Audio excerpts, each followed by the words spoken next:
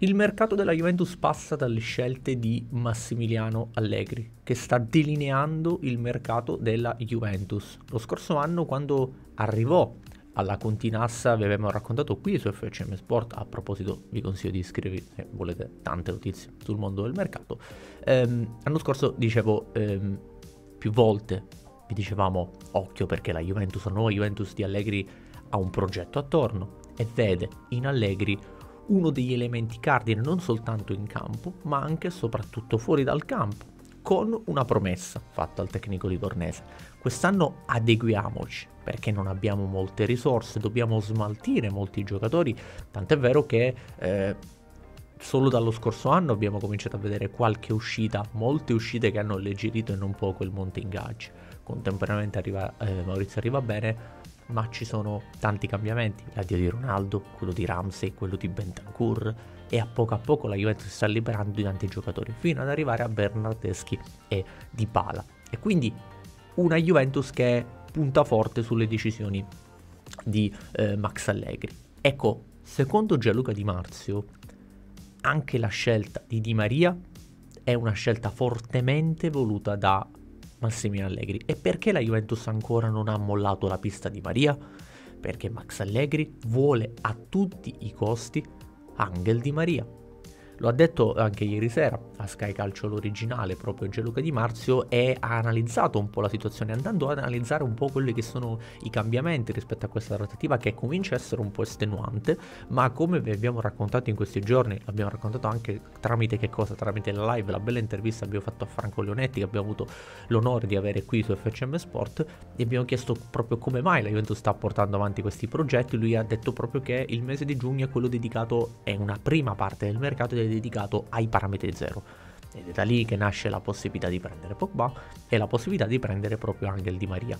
Ieri eh, Gianluca Di Marzio ha detto che la Juventus vuole fortemente Angel Di Maria e non si ferma ed è per questo che sta formulando una nuova proposta per convincere. Sì, perché siamo al convincimento del ragazzo. E ho sentito tanti in questi giorni dire, eh, ma addirittura la Juventus deve convincere Di Maria come se la Juventus fosse il primo club del mondo e Di Maria fosse l'ultimo giocatore del pianeta.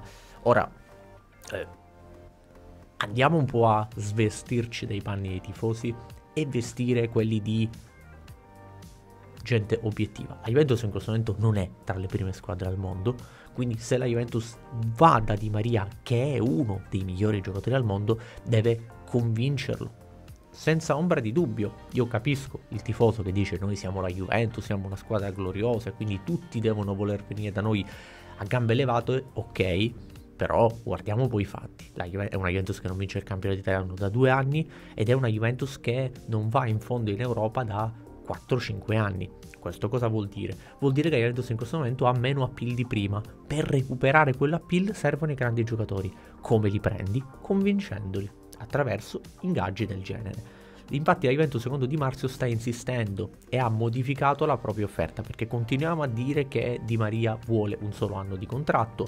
La Juventus puntava forte su un biennale ed è quasi paradossale che una, squadra offra a un giocatore un contratto di due anni e lui ne chiede fortemente uno soltanto. Già qui ci troviamo di fronte a un'anomalia del calciomercato. Però sta di fatto Di Maria vuole un solo anno, perché si vuole fare il mondiale, ma vuole anche fare l'ultimo anno a grandi livelli in Europa, perché sa, perché poi non giriamoci intorno. Non è che Di Maria va alla Juventus per conquistarsi il mondiale, perché secondo me Di Maria un posto in nazionale ce l'ha comunque e ricordiamoci che il mondiale è a novembre, quindi soltanto due mesi. Non è che in quei due mesi eventualmente la scelta dell'allenatore dell'Argentina cambia. Hai un giocatore come Di Maria, te lo porti, senza ombra di dubbio. Ehm, il cambiamento ora dove sta? Nel fatto che secondo Gianluca Di Marzio al ragazzo prima continuava a essere proposto con insistenza un contratto da due anni, quindi senza se, senza ma, Ora la Juventus che deve, ripeto, continua ad assecondare le scelte e la volontà di Massimiliano Allegri che ha detto alla società benissimo tutto questo progetto ma servono grandi giocatori e Di Maria e, e, Pogba lo sono. Sono proprio dei leader assoluti. Eh, e lui dice un contratto eh, di Marzio parla di un contratto della Juventus cambiato, un'offerta cambiata, contratto con opzione per la seconda stagione Perché questo? Intanto perché così facendo potresti soffrire il famoso decreto crescita ormai diventato quasi una barzelletta. Secondo poi perché Juventus in qualche modo spera di poterlo convincere. Magari fai un'annata importante con noi e magari lo convinciamo a stare un ulteriore anno. Perché la Juventus fondamentalmente ci può stare che fa questo tipo di scelta.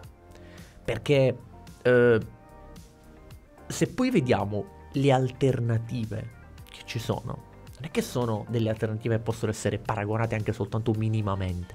Perché quando Gianluca Di Marzio parla di alternativa di Maria, parla di Berardi di Zagnolo, che con tutto il rispetto per questi due ragazzi, italiani e della nazionale italiana, non sono neanche minimamente paragonabili. Soprattutto vi dirò di più, tra i due vi dico proprio Berardi che non è paragonabile, perché Berardi è arrivato alla soglia di 27 anni, ha giocato soltanto al Sassuolo, non ha giocato una partita in Champions League, ma al di là del fatto che non ha giocato mai una partita in Champions League, non mi è mai sembrato neanche così determinante in Serie A. C'è un giocatore che a 27 anni ha giocato solo al Sassuolo. E soltanto le ultime due stagioni di Berardi sono state di altissimo livello, perché quelle precedenti ni e tra l'altro è lo stesso Berardi che anni fa rifiutò di andare alla Juventus quando la Juventus lo bloccò ehm, proprio per portarlo a Torino, stiamo parlando dei tempi di Marotta. Ecco, una Juventus quindi che però, secondo Di Marzio, ha dato una sorta di ultimatum a Di Maria. Ne parlerà lui con la famiglia, col suo entourage e ha 24-48 ore di tempo per decidere il suo futuro, che sarà dentro o fuori. Perché?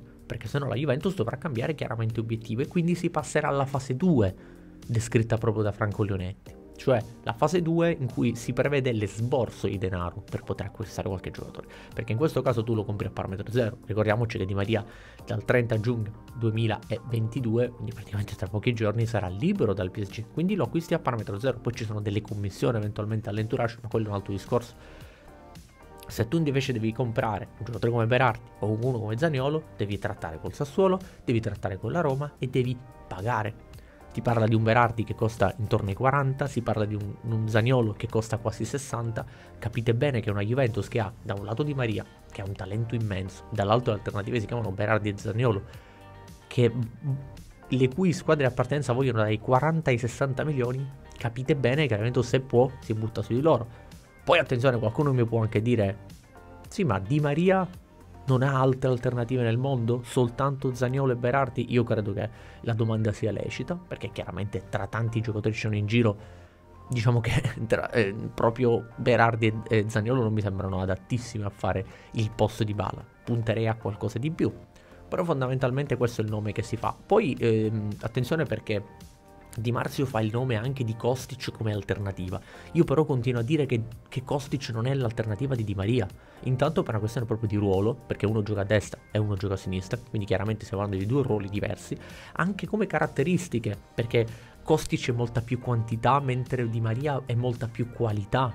Kostic può giocare anche in un ipotetico, fantastichiamo, 3-5-2 a tutta fascia, perché è un giocatore da tutta fascia. Di Maria no, Maria è un giocatore che deve stare molto vicino alla porta perché è un giocatore di, di grande qualità.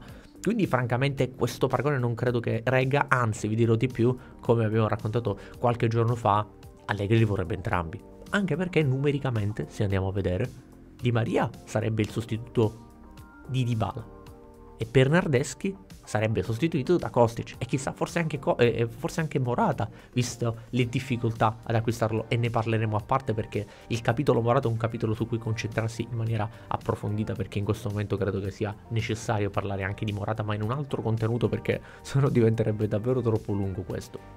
Per cui è una Juventus che entro il fine settimana si attende una risposta definitiva da Angel Di Maria. So che, la, che è stato detto tante volte, so che la Juventus più volte ha dato questo tipo di input.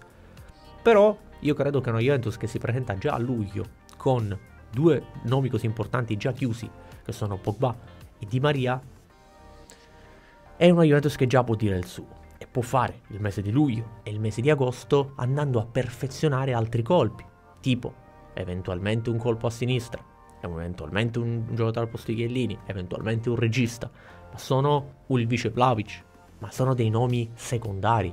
Tu i grandi colpi li hai già fatti. Si chiamano Pogba e Di Maria. Ditemi cosa ne pensate, se la Juventus fa bene a continuare ad andare incontro alle volontà di, di, un fenomeno, perché io sono convinto che senza Messi e Ronaldo Di Maria sarebbe stato al top nel mondo in questi anni.